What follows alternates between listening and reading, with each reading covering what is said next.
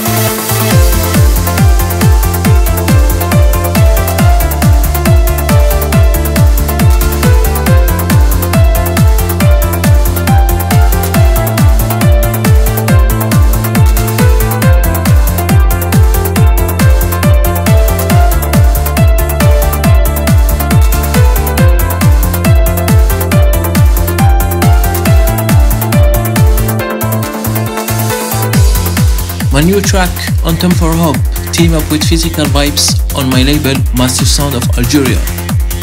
Let me know what do you think, hashtag MSOA394.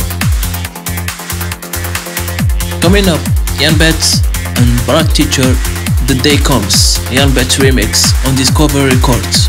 Enjoy!